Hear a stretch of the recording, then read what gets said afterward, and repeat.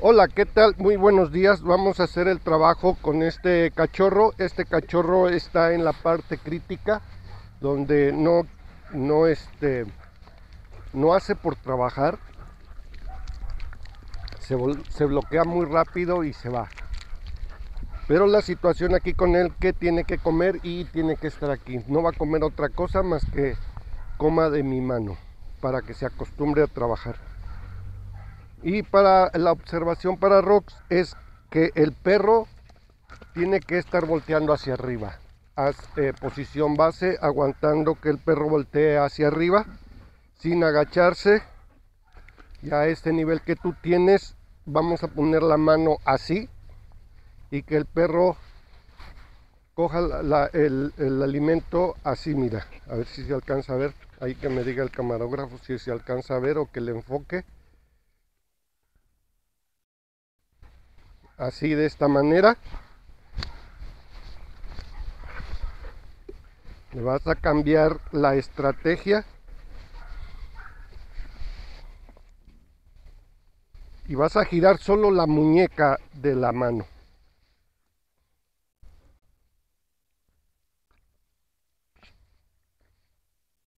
Aquí el perro todavía no está al mismo nivel que el tuyo.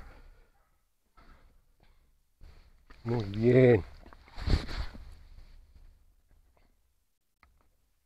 y de ahí vas a hacer estos ejercicios. Tal vez ahorita en lo que haces este la habilidad para para agarrar la comida de esta manera te va a costar un poquito de trabajo.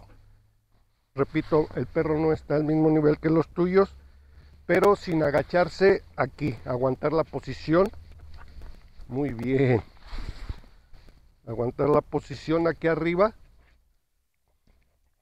y si puedes girar que, tus perros ya giran bien sin agacharte.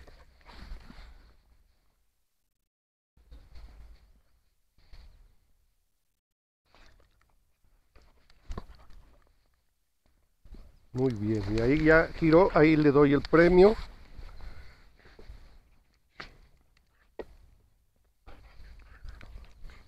Porque al principio le ponías la mano del lado de afuera, ahora se la vas a poner arriba de la nariz, que la nariz pegue aquí en, en la palma de la mano,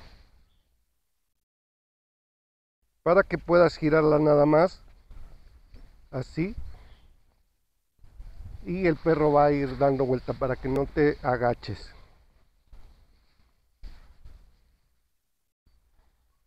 Ahorita este perro está en la fase eh, de que se bloquea mucho. Él no ha entendido que cada que haga un movimiento es comida, es premio. Si no lo hace no hay comida y se niega y se niega por naturaleza. Pero poco a poquito, con mucha calma y paciencia, va funcionando. Y al nivel que estás tú, Rox, ya es así.